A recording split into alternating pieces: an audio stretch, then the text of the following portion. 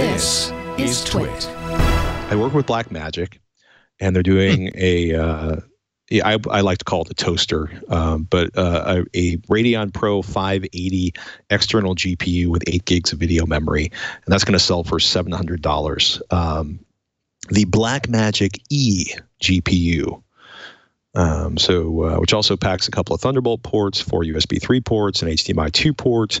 Um, supports Thunderbolt 3 displays. Uh, should you have the coin uh, to pick up uh, one of those 5K LG monitors, um, this is uh, this is good if you are a video editor. Um, and it's actually available yeah. now. And I, you know, I, I you know, it's it does kind of look like a toaster in the sense of a Cylon. Um, you know, it's it's a classic. If you kind of click at the link, it's seven hundred dollars. It's only available from Apple, um, but it's got that sort of like air in through the bottom, out through the top. Uh, it's interesting. It's interesting. Um, it's one of those but, things where it, it's it's seven hundred dollars for right. an RX five eighty, which is not a it's not a $500 graphics card. It's not a $400 graphics card. It's probably more like a $300 graphics card. So you're paying, right. you know, for the Thunderbolt capability, the dock, the expansion. Like you do get a lot of kind of add-ons for it: the the USB, the Thunderbolt, the HDMI. Right. Um, the look, the style. Blackmagic stuff is an int- Blackmagic's a great brand. We use a lot of their stuff here.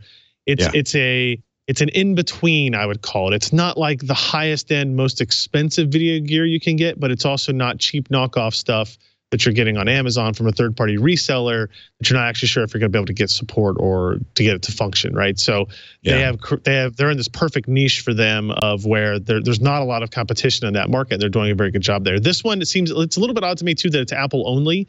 Um, mm-hmm. I don't know if there are just enough support issues with trying to get you know, uh, uh, external graphics cards working on Windows machines. When you might have RS3, you might have RS4. You have different Thunderbolt implementations right. on notebooks versus PCs.